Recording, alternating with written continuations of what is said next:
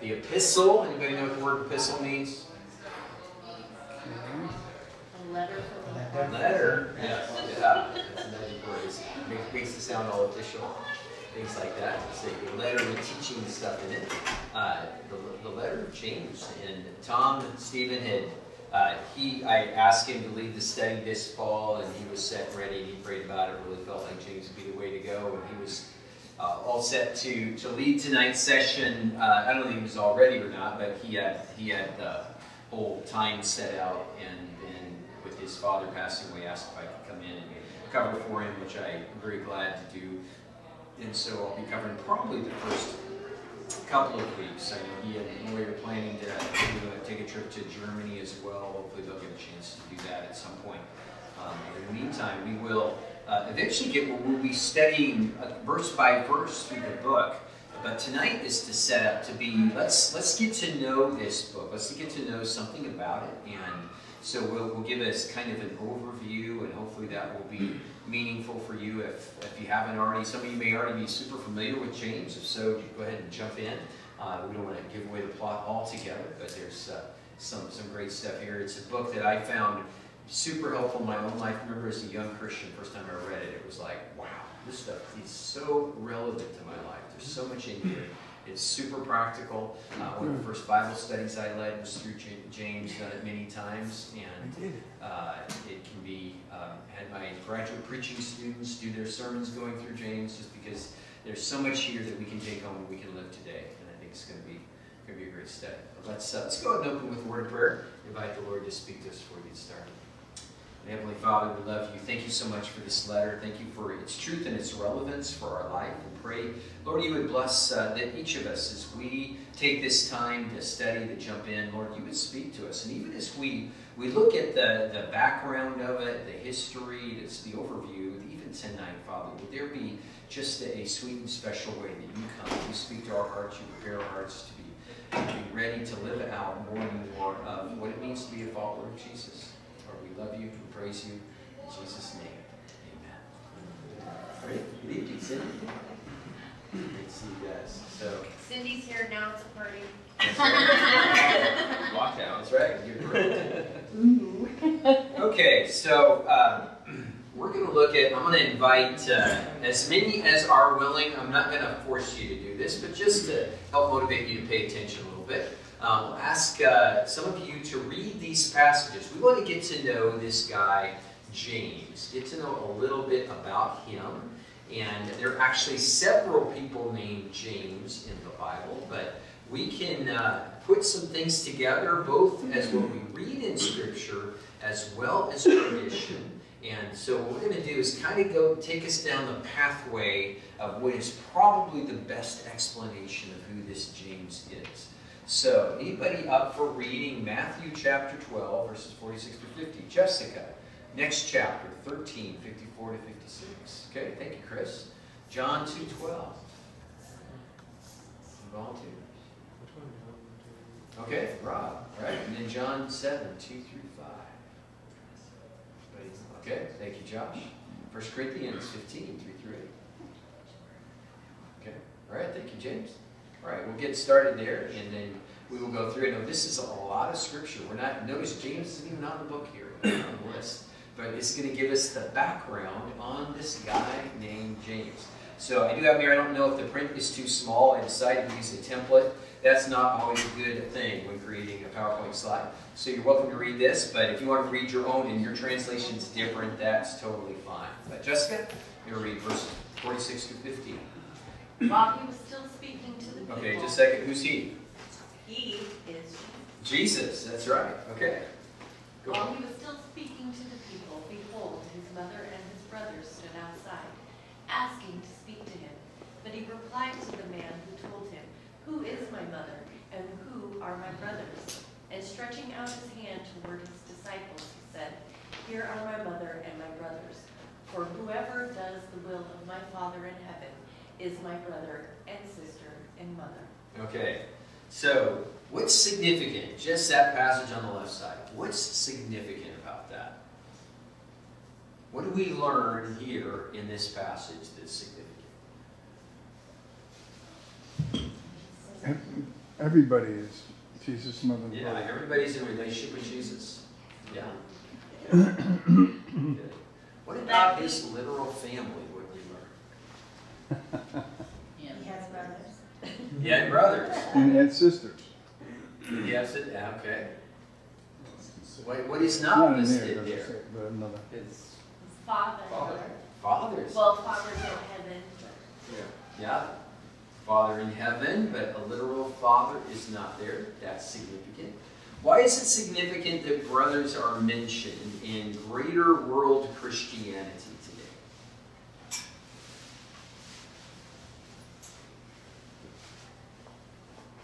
Think about some major streams of Christianity that struggle with the way that is Do you mean like the Catholic Church? Catholic Church. ding, ding, ding, Darlene gets it. Why? Why? What would Catholics have an issue with that? Because of how they worship Mary and think that she was Yeah. too pure to have more kids, I think, or something. Yeah. I don't know, I'm- I They- didn't, I they call her- Eternal virgin. Perpetual virgin. Right, Oh, Yeah. Yeah, and that is actually a core doctrine of Catholicism. right. So they had to get really creative of what they're going to do with that word right there and make up the word cousin. Okay? But what's the problem with that? What, why would that not work in that sentence as cousin? It's not as close as a relation. Because of what? It's not the closeness in the. That close to the relation. Because if he said, okay, his mother and his aunts and uncles and cousins, okay, but why would his cousins be hanging out with his mom without their mom? What, what, what is the Greek word there, though? The Greek word there is adelphos, which means brother, like Philadelphia, city of brotherly love. So adelphos means brother, but sometimes it can be used for, I can say brother Chris and brother Rob. Anybody been to that church before? And, and sister Cindy, and sister Darlene, and sister Pearlie. I mean, you know, that's, that's what we say because we're brothers in Christ. And yeah, but the context here is where that idea started, isn't it? This phrase is why we say, you know, Brother Rodney, how are you doing tonight? And Sister Jessica, you know, that why? Because this is what Jesus said.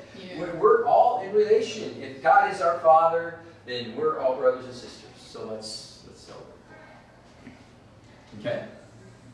All right. So. Uh, uh, so it's significant that Jesus had brothers. That's important. All right, now we get to know a little bit more about him in the next chapter. So let's read that next passage. Coming to his hometown, that is Jesus, he began teaching the people in their synagogue, and they were amazed. Where did this man get this wisdom and these miraculous powers? They asked. Isn't this the carpenter's son? Isn't his mother's name Mary? And aren't his brothers James, Joseph, Simon, and Judas? And And uh, aren't all his sisters with us? Where then did this man get all these things? Okay. So what do we learn here? And we didn't learn chapter 12. Yes, yes, blood brothers, Brothers and sisters. sisters. And we get to know their names of the brothers. names. Okay, that is significant. Because who's the first one named? James. James. Okay, that's that's going to be really significant for us. Okay, what other names do you see there? Joseph and Judas. Uh-huh. now, I underline Judas. Anybody guess why I underline Judas? Because he betrayed him. There's another No, Judas. it's not Judas who betrayed him, because he's Judas Right. Iscariot. It means he came from another town. Right. He was never called Jesus' brother ever in any other place. But there is a guy through tradition with a name that usually could be Judas, but they don't always put S's on the end of the name, especially Hebrews did not include an S in the end. So there's an interesting guy that we will get to know a little bit later. Actually, I'll show you right now. Jude chapter 1, verse 1.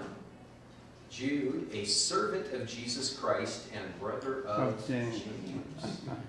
So as we go back, we can see that, okay, there's Jude. If we take the Judas, and that's Jude, which was a common interchange. It, it- it's kind of like, uh, uh, what would be like, nobody calls me Al, but uh, Rob, we call him Rob, but that's not what your birth certificate says, is it? Robert, you're probably Christopher on your birth certificate. And so we have these names that we shorten and we put back and forth. That was So- the name my mother ever called me. Huh? Was Christopher? Yeah. Yeah. Whether I was in trouble or not. So, um, so we have uh, this Jude, and tradition has handed that down. So why does he call himself a brother of Jesus? And as we'll get to see, James uses that same wording. He doesn't want to claim brotherhood of Jesus. And in fact, uh, as we believe, who is Jesus' father? Joseph. God. Oh, God. Oh, That was conceived by the Holy Spirit. Holy Spirit. So that's part of the significant thing here. Also, we learned in the Yes Sisters, but, but this is significant. Okay, uh, who has John 2.12? I guess I do. Okay, After he went down to Capernaum with his mother and his brothers and his disciples, and they stayed there for a few days. okay. So this is uh, chapter 2. This is after turning the water into wine. And what do we see here? What do we see in Jesus' family? Mother and brothers. Who, who else is missing again for the third time? His father. Father. Yeah, no sisters either. No father. Okay. So we'll keep that keep that there along the way. Okay, now this is chapter seven is a few years later. So chapter two is first year of Jesus' ministry. Chapter seven is early in Jesus' third year of ministry. So it's at least two, two and a half years later. Uh, so who's going to read verses two through five? Okay. Josh, take it. Now the Jews' Jews' feast of booths was at hand. So his brothers said to him, Leave here and go to Judea, that your disciples also may see the works you are doing. For no one works in secret if he seeks to be known openly. If you do these things, show yourself to the world. For not even his brothers believed in him.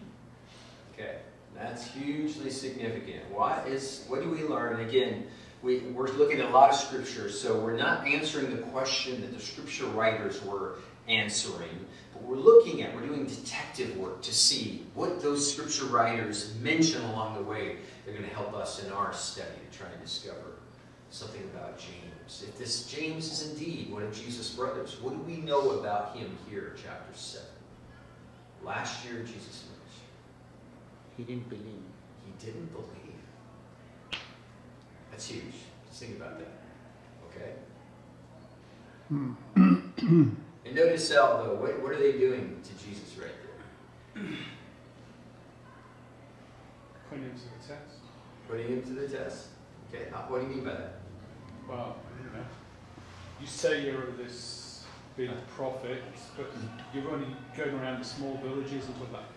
Go to Jerusalem, stand up there, and let's have the, the elders and the priests examine you and Mhm. um, con- confirm that you are this prophet that you say that you are. Mm-hmm. Mhm. Okay. All right. Good. Good. I always thought them coaching him. Come on, you get more press that way. You know, you get, you know, you know, get on Instagram, Facebook, get social media going. Come on, everybody you know who you are. It's of brothers you have. That's right. You. I like your expression, your explanation there, Chris. We don't believe in you, so let's see. Let's see we can make it happen. Okay. So that's significant. So this is September. And about what time of year did Jesus, was he crucified? Well, tradition says Easter, but Yeah, no, you know, you know, Easter is, unlike Christmas, which is tied to only God knows what. Easter is a holiday that is actually tied to the lunar calendar that drove the Jewish calendar. So we it's know. tied to Passover. Yeah. Yeah, Passover. When, what time of year does Passover take place? Spring. Spring, March or April. So this is only six, seven months before Jesus died. Okay? Now let's read 1 Corinthians 15. Let's get this passage For I delivered to you fasting promise what I also received, that Christ died for us for our sins in accordance with the scriptures, that he was buried, that he was raised on the third day in accordance with the scriptures, and that he appeared to Caiaphas, Cephas. Cephas, Yeah, it's an Aramaic word meaning Peter. It's Peter's name in Aramaic. Cephas, mm-hmm. then to the twelve. Then he appeared to more than 500 brothers at one time, most of whom are still alive, though some have fallen asleep. Then he appeared to James, then to all the apostles. Last of all, as to one untimely born, he appeared also to me. Right, thank you, James. This, this is often recognized as a creed uh, that early Christians probably memorized to reinforce their faith. It's written in such a way that makes it easy to learn and easy to remember uh, because it gives the credibility of the resurrection account. Right, in fact, I had a great meeting today with somebody who really struggled with believing whether or not that Jesus could have actually risen from the dead. And one part of the argument is all these people claim to see Jesus, and then later were killed for following Jesus and never renounced him. They were willing to die holding on to the claim that they had seen him after he had risen from the dead. Hmm. I mean, that in itself is incredible testimony. I mean, that, that's, that's, that makes this idea. And so Paul is writing that way. Notice what he says. What are some things about the way this is written that would give substance for an argument that we can know that Jesus has risen from the dead? Numbers. Numbers, Mhm. yeah. What number in particular? 500. 500. It's like, you don't believe me. I'll go, we got 486 still alive. Granted, you know, Grandma Josie's going to die tomorrow and you'll be down to 485. But we've got several people that we can we can get together here that you can know for sure because you can talk to them. But what is significant for our study? What is one name in here that's kind of surprising to be included? James. It's James. James. It doesn't actually say when he appeared to James. Well, we, we can guess it though. Because when did Jesus stop appearing as such in the way Paul has structured this? No. The whole last one is when he appeared to Paul on the road to Damascus. Damascus. That's So like that was chapter there, yeah. So it could have been, yeah. it's it's- Prior to that, though, it would be the ascension. Yeah, probably before the ascension. Probably before Pentecost. So this is that interesting. This James, who seven, eight months earlier did not believe in Jesus, Jesus appeared to him. That made a difference. If you'd seen your brother who is, and, and, and I, I would think, can we give James a break? How many of you would believe it if your brother or sister came around and said, I'm the Savior of the world, Messiah, full Lord, and how many of you were like, yeah, right. All right, yeah. Yeah, you want to see it. So, but then, did something happen after seeing him risen from the dead? Did that make a difference? Well, it didn't take too long because our next passage is Acts chapter 1. And do we anybody volunteer to read Acts 1? Verses 12 through 14. Yeah, okay, Rob. Then they returned to Jerusalem from the mount called Olivet, which is near Jerusalem, a Sabbath day's journey away. And when they had entered, they went up to the upper room where they were staying. Peter and John and James and Andrew, Philip and Thomas, Bartholomew and Matthew, James the son of Alphaeus, and Simon the Zealot, and Judas the son of James. All these, with one accord, were devoting themselves to prayer, together with the women and Mary, the mother of Jesus, and his brothers. Wow. All right, great job with all those names. So this was, ascension was verse 11. So this is what we're talking about. She said, just risen from the dead. And notice what's significant here. He sure named a lot of people. Yeah. And who are those people who are named? Disciples. Disciples? Who's Hmm. missing? James. Judas is Judas is missing. So you got the 11. Mm-hmm. Got Mary. And you have Jesus' brothers. The same brothers who didn't believe in him eight months earlier. So it did happen. Had that appearance been enough to change who he was? Okay. Now we're going to jump ahead to the letter to the Galatians. And I'm doing this because Paul is telling his own story to the Galatians. He's dealing with, uh, and you may be familiar with the letter to the Galatians, was written to help churches that Paul had started on his first journey, who had been led astray by some what we would call Judaizers, who said, guys, if you want to be a Christian, you got to get circumcised. And and it may, okay, that's painful and unnecessary, but more than that, it Paul it being evil because you were going back under the Old Testament Jewish law, which hadn't been enough to save people to begin with, and he saw that Jesus had been setting people free from the law. So the whole letter to the Galatians, most of it, first three and a half chapters, deal with arguing against this mentality. So Paul is sharing his own story on what he's been through and how it became an issue in the church there in Antioch, what they were dealing with in that area of Judaism. And I'm having us do this because time wise, it's going to be before the next passage we see James mentioned in Acts. But James is here in a couple of passages, so let's see if we can see what we learn about James and what has happened to him in that time frame here with these. Somebody like to read verses 15 through 19 of chapter 1. Okay, thank you, Jessica.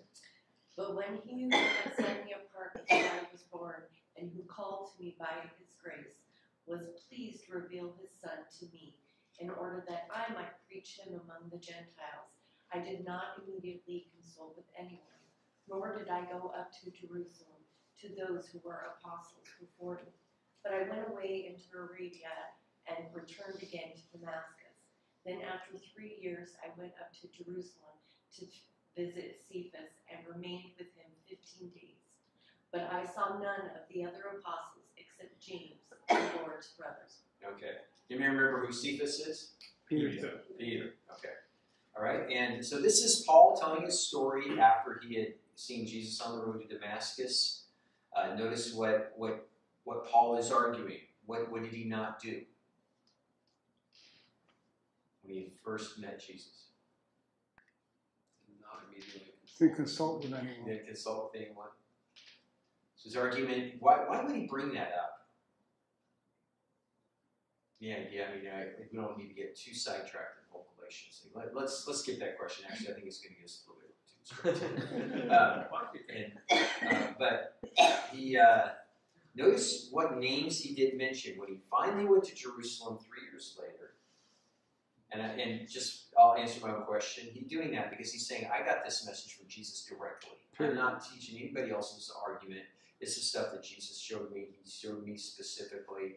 And it wasn't until three years that I actually meet anybody who actually flocked with Jesus on this planet. And they confirmed what I knew. So he's the first person he met? Yes. Peter. And who's the second? James. And how is James described? Lord's brother. The Lord's brother. Our poor Catholic friends hate this. you know, why are you even doing that? You're making a deal there. So, okay. So that's significant. Why, why is that significant? Why is it significant that it gets mentioned? He must have loved James, don't you think? Mm-hmm. Sure. Yeah. How, how do you think people in the church who come to faith in Christ, the thousands of people who believed in Jesus on the day of Pentecost and in the years to follow, how would they have thought about Simon Peter?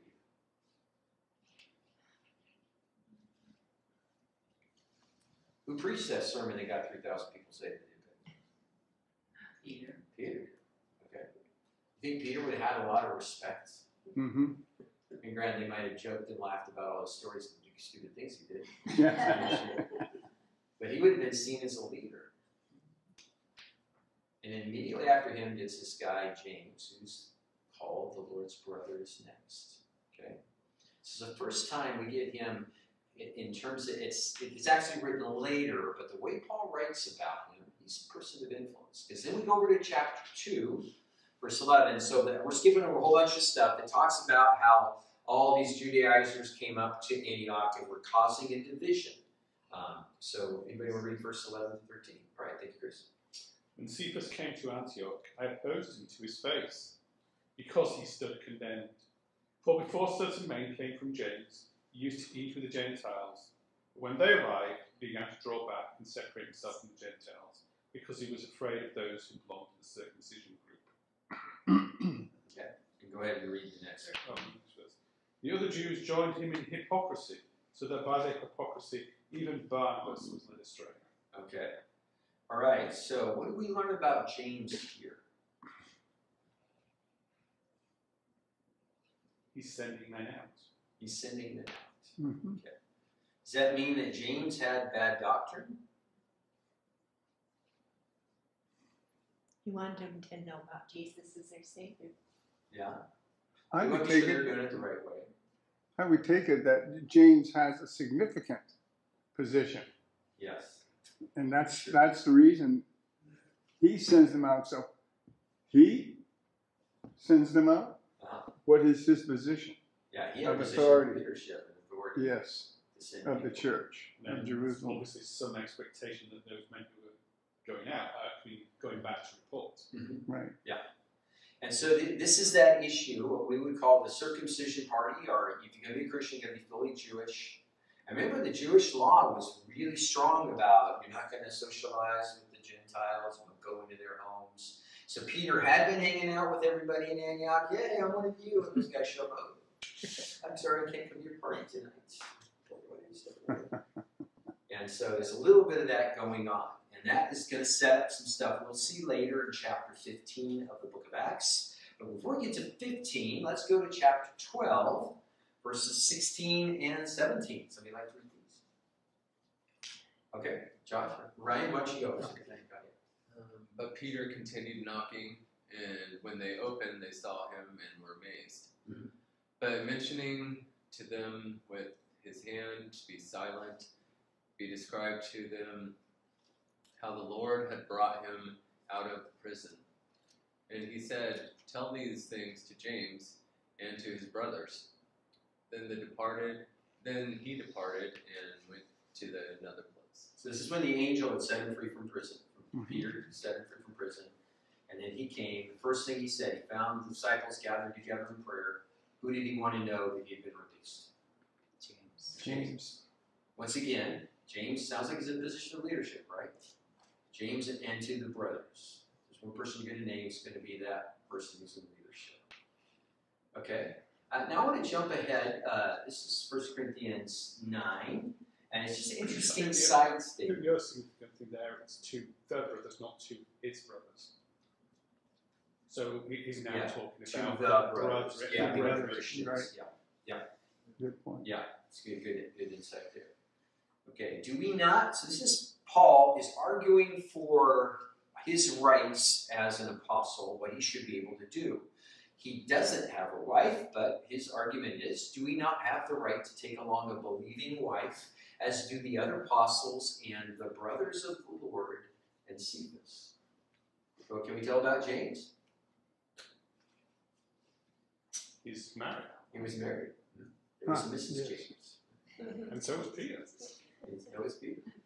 But Peter's wife uh, ministered to Jesus early in his ministry in Acts, in Mark chapter 2. So, his mother in law did, I guess. So his mother in law. That's the story.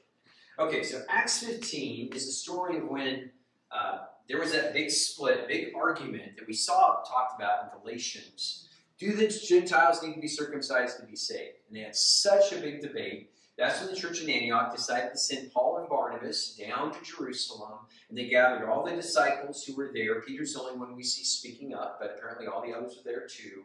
And the Pharisees who'd become Christians. And they all got together and they had a big discussion. Everybody presented their argument. We don't see any details about the, the Judaizer side, but we do see that they had a chance to share their story. Paul and Barnabas talked about all the Gentiles getting saved.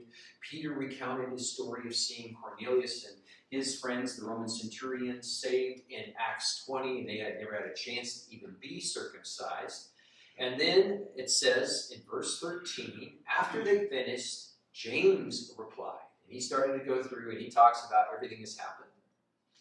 And then he's still talking, verse 19, therefore my judgment is that we should not trouble those of the Gentiles who turn to God. What does that word, my judgment, say? Decisions. authority to make a decision.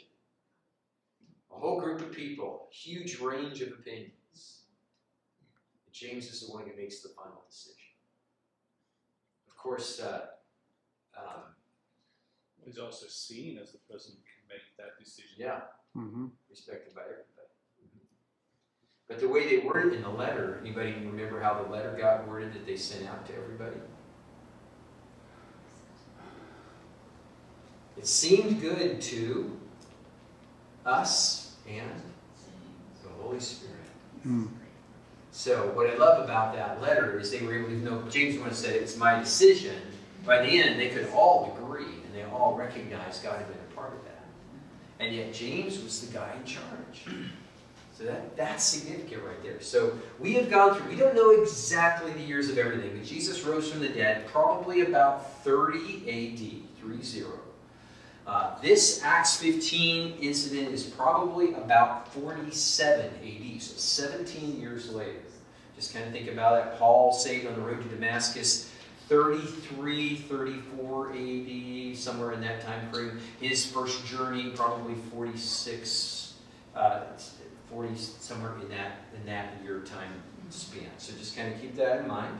Now we're going to jump ahead from, again, 47, 48 AD to the year 59 AD. So this is 12 years later. Paul has taken two more journeys and established a whole lot more churches, and a lot more things have taken place. He spent three years in Ephesus, year and a half in Corinth, and traveled around, and he's come back to Jerusalem with a big offering, bringing people from all these churches that he helped founded to just keep them honest.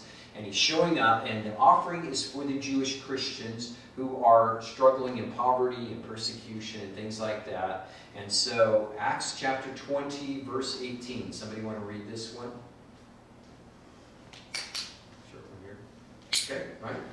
On the following day, Paul went in with us to James, and all elders were present. Okay. So, who? What, what's significant here? Paul went in with James? But went in. to James, but with With uh, us, which means who was there? You gotta know something about the book of Acts. The author of the book of Acts was with Paul. That's Luke. So it's an interesting thing. Oh, that's he was right. there an eyewitness. And once again, only one person is named who was their audience, and it is James. James. And if we would go on, we won't take time to read the rest of that chapter. You see, James is the one who gives Paul instruction. James speaks with authority. So James was obviously what? What can we tell about James just from these passages we've read so far? Everything we can tell. About. He's a leader. He's a leader. But this one here is probably in hiding because they went to him. Mm-hmm. Although, if he is a leader, you'd also Yeah. might, might respect him. Not total hiding because he told Paul to go make an offering in the temple, and that's what got Paul in trouble. So he wasn't hiding Well, himself. he was accepted as an authority, wasn't he? hmm Already, yes. Yeah, by all the Christians, and even Paul recognized him as authority. He was close to Jesus when Jesus was alive. Yeah. Probably, you know, cheaper. Yeah, brothers. Although, what was his attitude towards Jesus when he was alive? Huh? Didn't believe him, He didn't believe him. Yeah. at least he was around. But at least he was there, and they had a conversation. But he must have been He Lord was a some of witness. what Jesus was teaching because he was Yeah, around heard and he it. knew his attitudes. and So he went through some kind of a attitude change towards Jesus, big time. Probably Yeah. Jesus appearing to him there along the way. Okay. All right, now let's go beyond what the Bible says. What we can see from a first century historian, a guy named Josephus. Anybody uh, familiar with Josephus? Okay, Rob, what can you tell us about Josephus? Well, uh, he was a general, Mm-hmm. which I was surprised to find out Yeah. when I learned it. A Roman general, No, he was a Roman general. and uh, He was fighting the Romans. Yep, and he, uh, very smart man, uh, just gifted. Uh, made wonderful observations, and so, generally speaking, people believe what he wrote was fact. He was, he actually was part of the rebellion against the Roman Empire to begin with. Won some battles for them up front, but then got taken prisoner by the Romans. And then he ended up swapping over to help the Romans to when they destroyed Jerusalem. He wasn't fighting for them, but he did provide some intel. Um, but he uh, was very influential, and he wrote two books to, that are very, very significant in history. This one called Jewish Antiquities. He probably finished about 94 AD, probably spent 15 years writing it. Tells it overlaps a lot with the Old Testament, but fills in a lot of missing details of the history of the Jewish nation at through the end of uh, the Old Testament until the coming of the New Testament, until his own time period. Another one is called the Jewish War. It tells the story of the big war that took place with the Romans that led to the destruction of the temple in the year 67. It actually started 64 to 70 AD. So it's like stories like Masada, things like that, and, and it fascinates. He's a great writer. Both of those are really good books to read. You ever get? Mhm. But this part here is from Jewish Antiquities, and it's very significant. I don't know, is that and font's too small to read, or can somebody want to read that? Ananias, who we have told you already, took the high priesthood and was a bold man in his temper.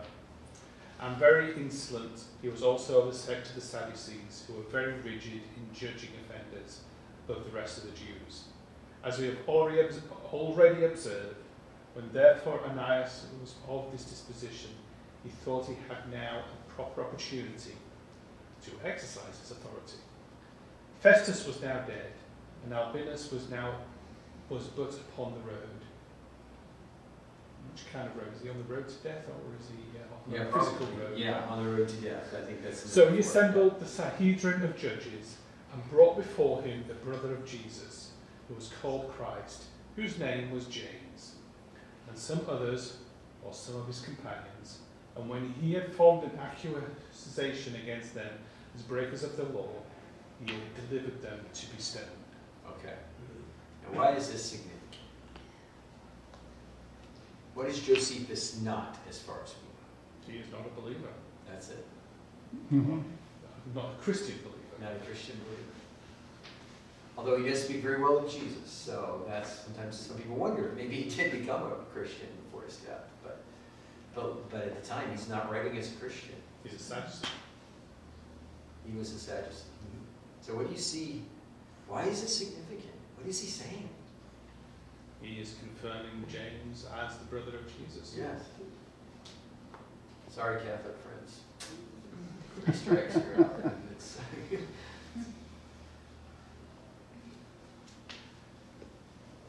Yeah. And it also, we can date James' death. Because we know exactly all the names of these people. This had to be the year 62 AD.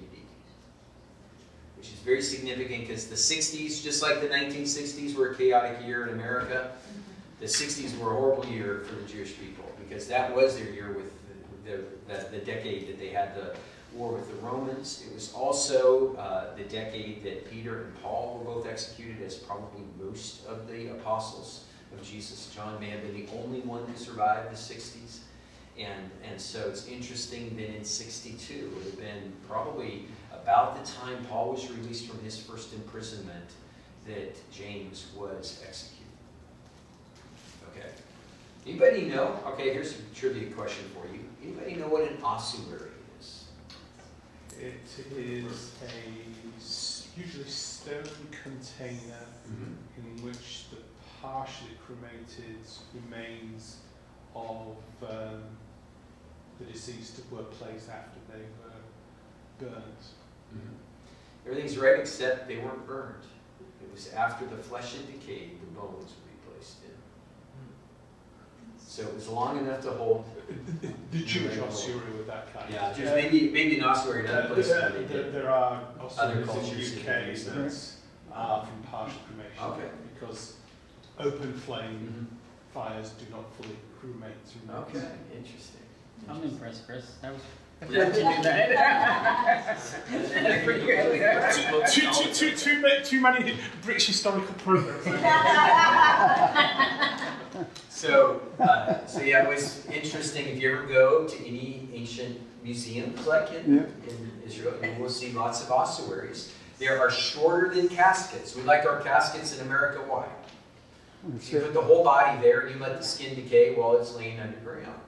But the way the Jews did it was they didn't, you know, ground was more rare and scarce, or they just decided by the first century what they would do would be to place the body in the in the tomb and let the, the skin and muscles decay for a year. And then as a ceremony on the one year anniversary of the passing of your loved one, you'd open, roll away the stone, go in there. All that would be left would be the bones. You'd collect them together and place them in an ossuary like this, and then put them in there. And there would be something that would be uh, engraved in there. Like the high priest. They found his Yeah. yeah. ossuary. Caiaphas. So this one was discovered in 2003. And it lists in, in scratched in uh, Hebraic, similar to the times. It's Yaakov, uh, the son of Joseph, that was written right there, and James, the son of Joseph. And so it made made the headlines. Was a very big deal because could this be James? I mean, was it dated? It was the style. It was the work. Um, and the individual who found it, though, was accused of forgery, was actually uh, charged with the crime and tried, but then acquitted. so, so it's still an unanswered question. A lot of experts are not necessarily going, yes, yes, we go, this is it. There's like a, hmm, a lot of stuff that people think is Joseph, James were common names. yeah, and that's the thing, those are pretty common names, so, you know, is it historic? Is it actually James? We don't know, but still a pretty cool idea of thinking how it could be. So, other people that we uh, hear who talk about James, and is this James uh, the right one that, as we think it? Um, and his letter, is his letter, did he actually write the letter that we have? That's another big question.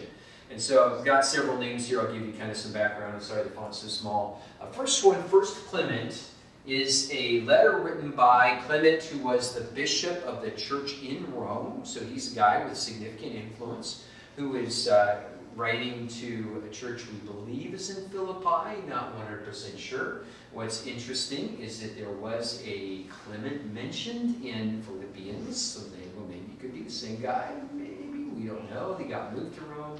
Um, so he's influential. This is one of the earliest documents of which we have good historical reliability. It was written by who claimed to be by a Christian, writing within the same century that uh, Jesus himself was alive. So this is a very significant historic document.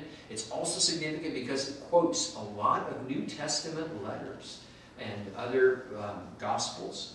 It does quote verbatim, but does not cite. Which, Laura, what does that mean?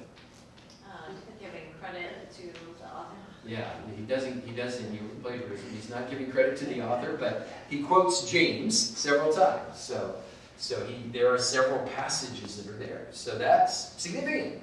What that would tell us is James probably already in circulation, already an influential letter at that point in time, so that had been written before 96.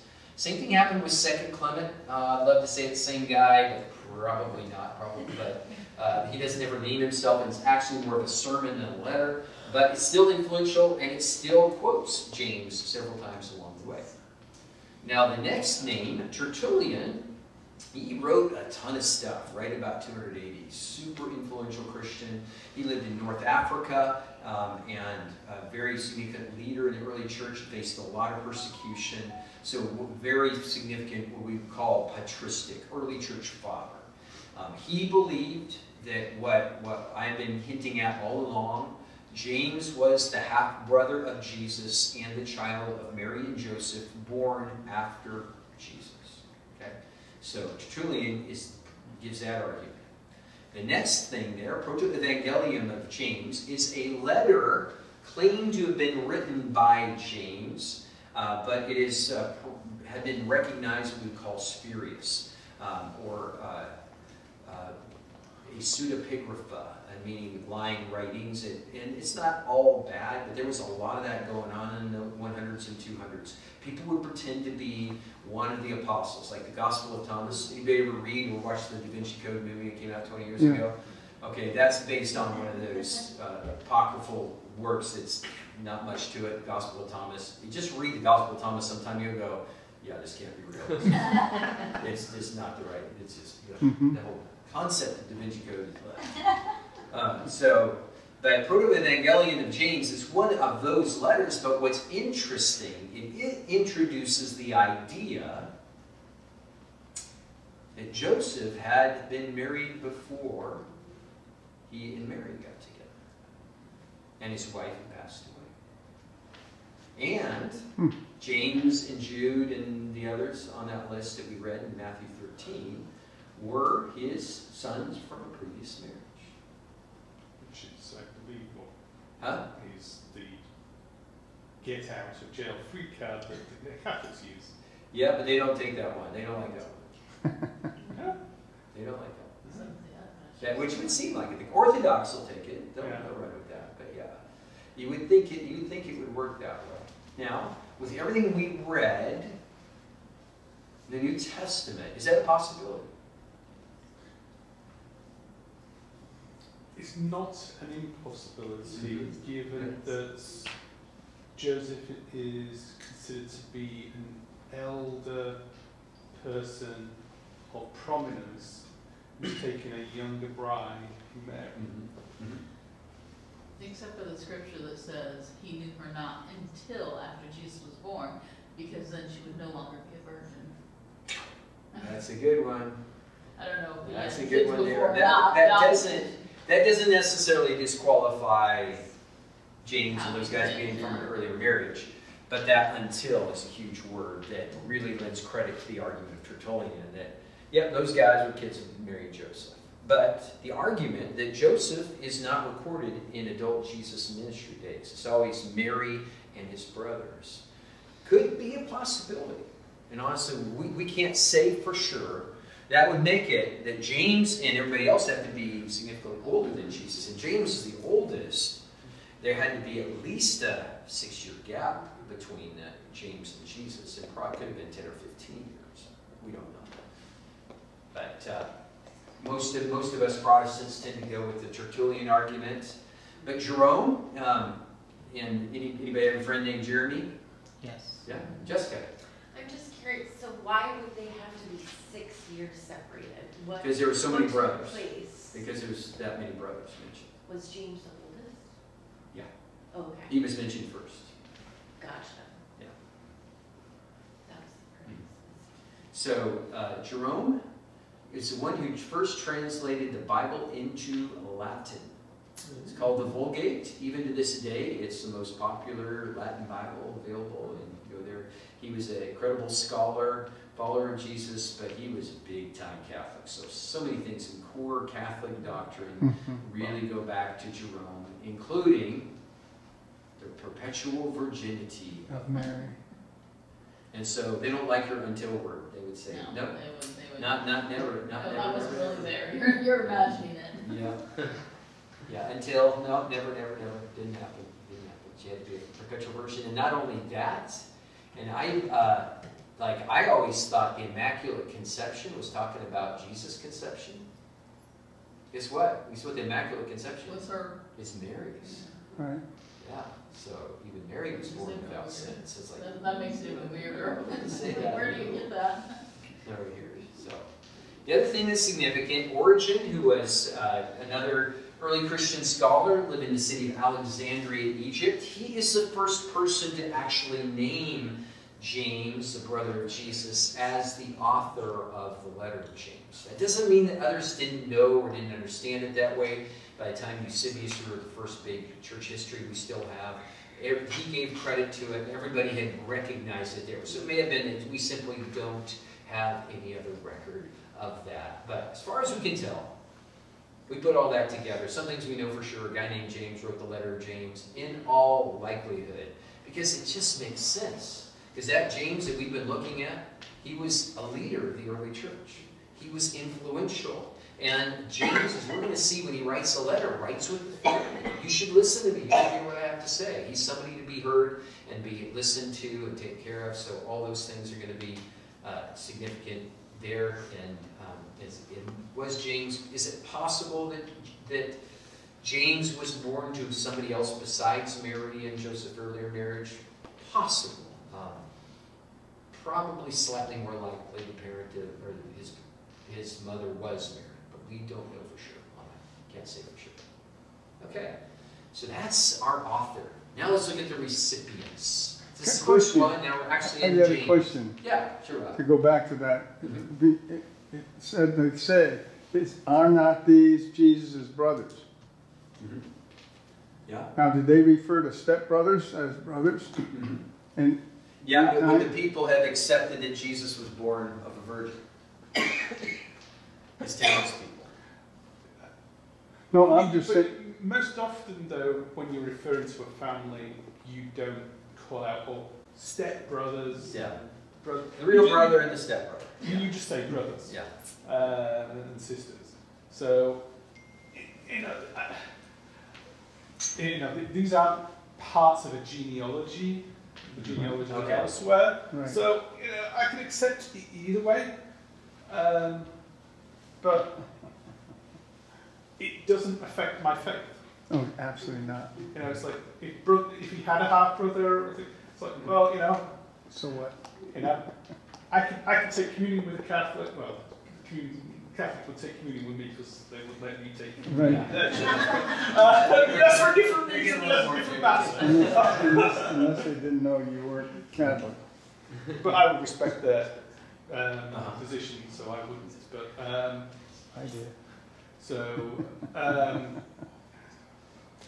it doesn't stop me being a fellow Christian, a fellow brother to a um, Catholic because they have some different idea about who Jesus' brothers were. Yeah.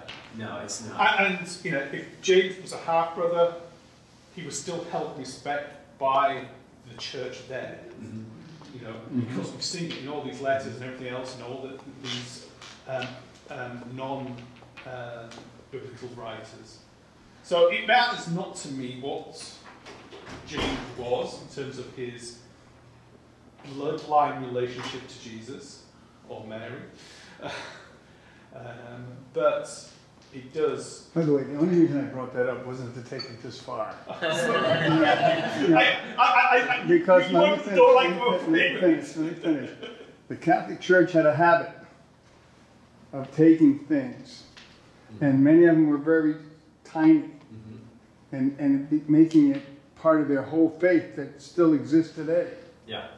And so we, we, we talk about, you know, this, this, and you know, the apparition of Mary. I know who's doing that. You go to France, it's not Christ that's doing it, the enemy that's doing it. All the credit goes to Mary. I don't care what they say out of it, it is Mary that's getting all the benefit of the healing that occurred. And so that's, I was just, I was just saying that, that uh, uh, they're not alone. I mean, you got Orthodox take some of the, the same kind of things. They're very tiny, but it becomes so part of their faith. Yeah. I mean, look how long, look to get rid of, uh, uh, blank, uh, when they died, Catholics always went to Purg- Thank you. Yeah. And that was just finally saying, no, there's no such thing as, Uh, well, th- you know, where'd they get that from? You know, I- Cardinal Cantalamessa, the Alpha guy, I got to know him a little bit. And uh, you should read some of his books. He questions all kinds of Catholic doctrine. Uh, and yet he That's is, what Martin Luther did. yeah, that's, that's right, exactly. And even now, in his own books, as a Catholic and as a cardinal, uh, he's the cardinal um, father. Mhm. Uh, father to all the priests. Uh, the, the, the, uh, so, I mean, they argue amongst themselves a lot.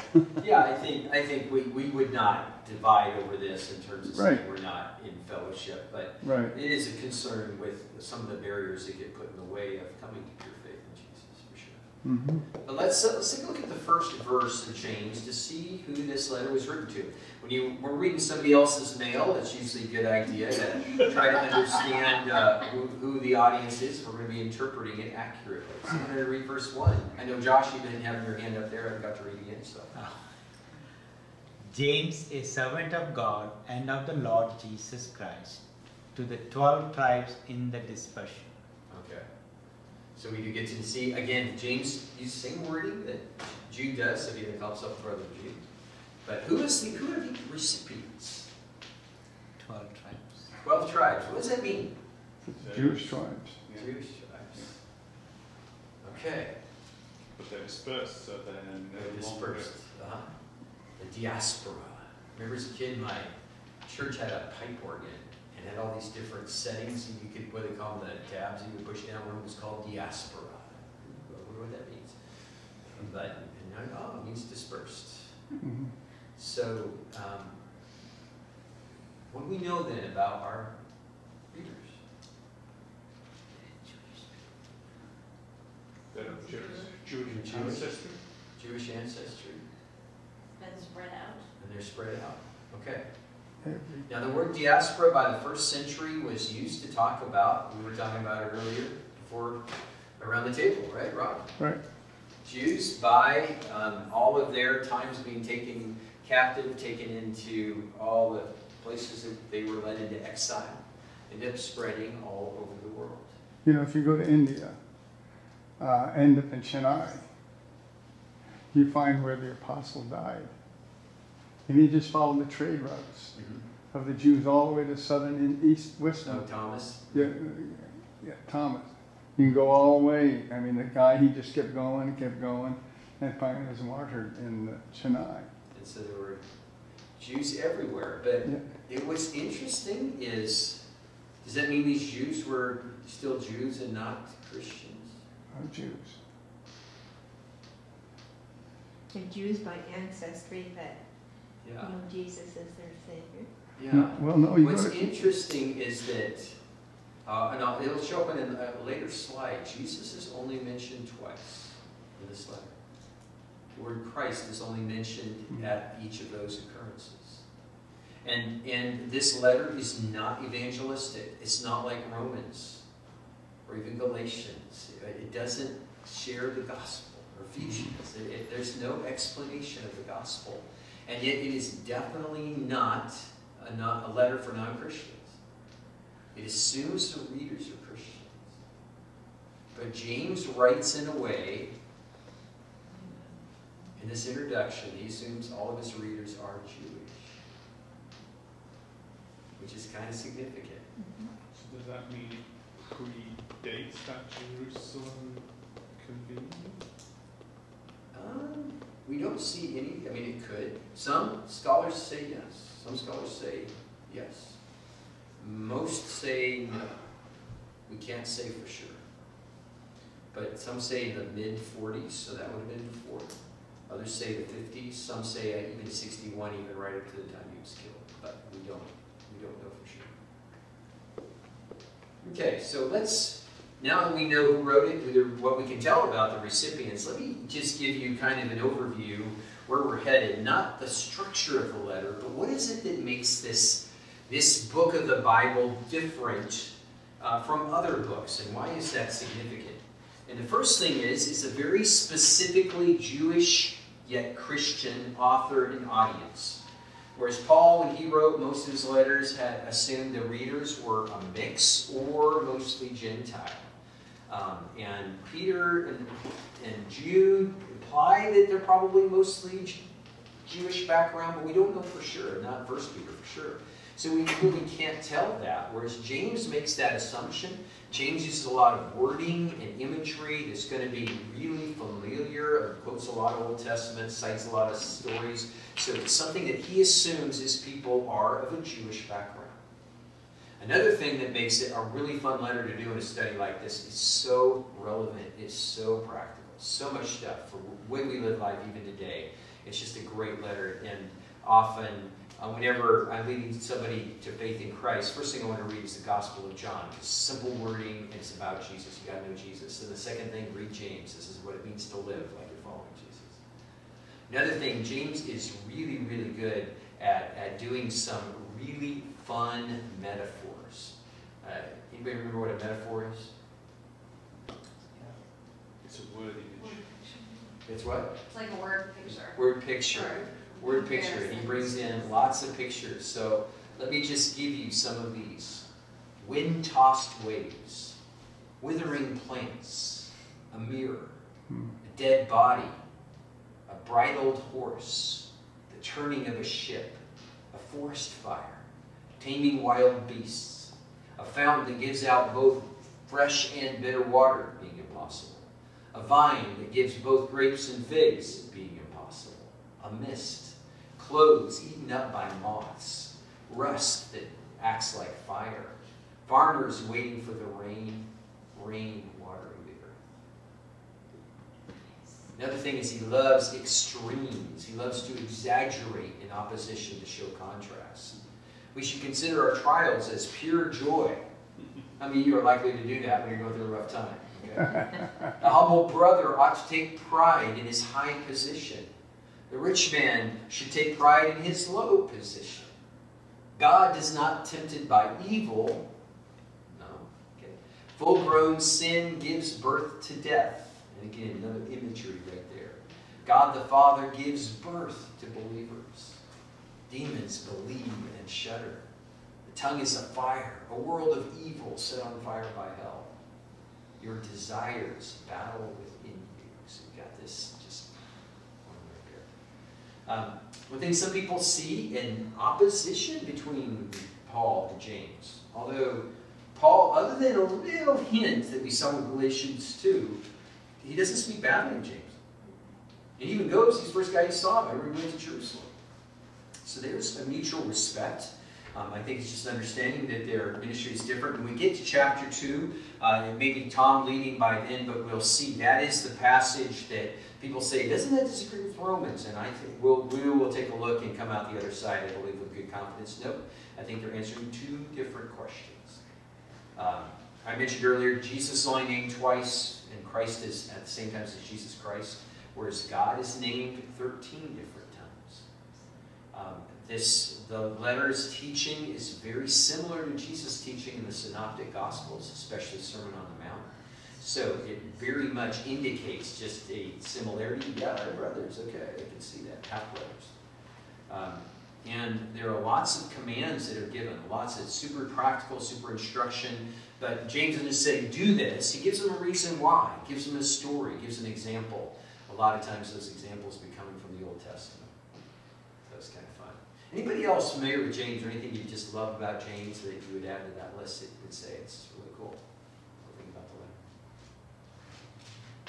I think kids were saying that he's pretty rude. He's rude. Cool. yeah, in your face. He's going to call you out. Okay. Yeah, good. You covered it. Uh -huh. Yeah. It's short and succinct. He gets to the point. Gets to the point. It's also not highly structured. We kind of throw some ideas out and kind of flow from one idea to the next. Which, Paul's like super argumentative. Which would contrast the two authors. Um, Paul mm -hmm. is a Pharisee, mm -hmm. he's an educated, he is clearly in some of the Gospels writing with his own hand. Mm -hmm. Some of his letters he's writing with his own hand. Whereas James, if he's a, a son of Joseph, he's the son of a carpenter which is more, not quite a fisherman, but it is still one yeah, of the lowly uh, um, careers, um, although some people do equate carpenter with masonry, so but that's a different side. Yeah, yeah. um, so it would fit that it would be yeah. less structured, less well thought through. Less, less of the Greek analytical approach, more of the Hebrew floating and pictures. And stories. Although uh, it's interesting, the, the grammar itself is very good. But he probably used a scribe. Yeah, he may have. He may have. He may have learned more along the way as he went. You know what but, I, struck me is that he potentially was the better speaker, whereas Paul was thought to not necessarily always be the best speaker, but he wrote very mm-hmm. well. Mm -hmm. So a lot of times people that may not engage in writing you know, really we're leading verbally and mm -hmm. through, you know, visibility versus on paper. So it, it mm-hmm. you know, kind of lends itself to that. Some of the major themes that we will touch on, and, and there, are, there are many, so uh, this list doesn't cover all of them, but just a few of the big ones. Perseverance, we see early on. Wisdom, which really taps into Proverbs and stuff like that. It comes in Ecclesiastes. There's a lot of stuff about wisdom. Right uh, true religion in the sense that gets demonstrated by caring for people in need and walking in humility, sincerity, doing things from the right motives. Uh, the motives are questioned over and over again. And James visits prayer uh, over again several different. So the key texts on prayer are found here. So uh, we, will, we will see those as we go. Right. Well, anybody have any questions or comments before we transition to of prayer? So in the disciples list, uh, it says James, and then also in the end they said his brothers. So it's the same James mentioned both times, or In, in, and in which in the disciples list? No, uh-uh. it's clearly not. In fact, uh, I wonder if I can guess which slide that was. Let me try here. I think it's Matthew. Uh, no. Okay, this one right here. This is significant. It's how many James do you see on that passage? That On that is? Three. And which one is missing? Okay. Our James is not even on there because where, where's our James occur? My brother. His brothers, right? So you've got three of them, Peter, John, and James. So this James is important. Why? Where is he on the list? Third. And who are, who are ahead of him? Peter and John, who are the most cited. Peter more cited than any other. John is the second most, and John also did what? He wrote a gospel. Yeah. And three letters, and probably Revelation. So, so he's these two are super influential. So him coming in third would indicate third in influence. Um, we also know who's who's his brother. Who's who's that James' brother? Hint, hint, just before my list. John. John. Aren't they the ones that argue about who's on? Yeah, uh-huh. yeah. Put my sons to the right and the left. And Jesus called them. Anybody remember their nickname? Sons of thunder. Sons of Thunder, or Boanerges, right? But what happened to this James? We do know what happened to this James. Acts chapter 11. He was killed. He was, he was executed, martyred.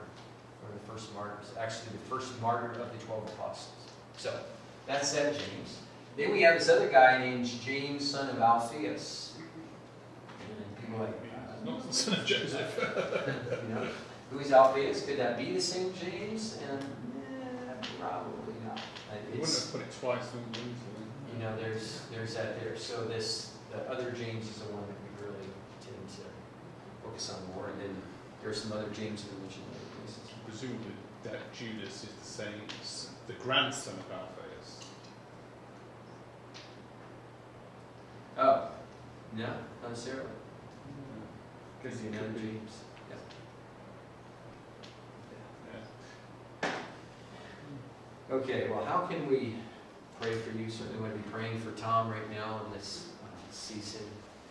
And uh, if anybody remembers, Tanya Pierce spoke with her yesterday, see how her surgery went. She had gone in, we had to get to the hospital at 5 in the morning, went through all that. Her blood pressure was too high for the surgery, so it's rescheduled for next Monday. Okay. So please pray for her. Okay, Anybody else can be prayed for? Yeah. Pray Sheba. for my job, For a job? Okay. Pray that Sheba can get a job. Speaking of jobs, a lot of you, I've shared with several of you, Karen and I have, we haven't done it from the pulpit because we don't want to embarrass him, but our son Stephen has been without a job for years and uh, really struggling and dealing with a lot of depression and uh, of course we've been praying for him, a lot of you have as well.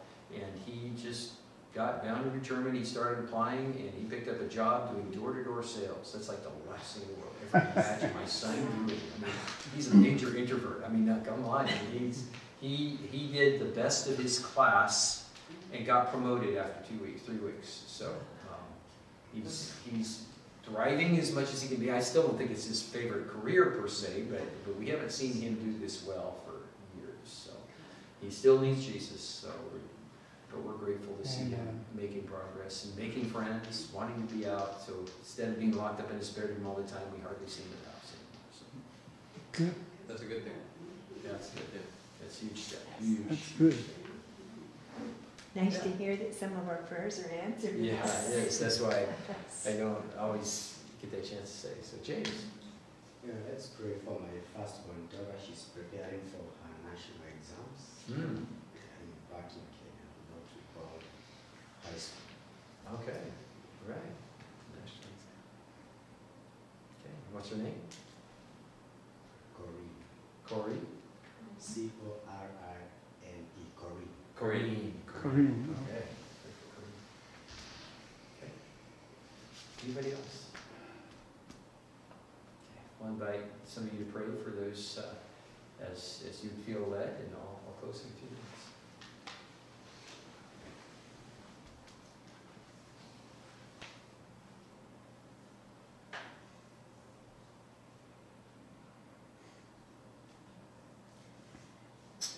Lord, we thank you for for your brother James, who's taught us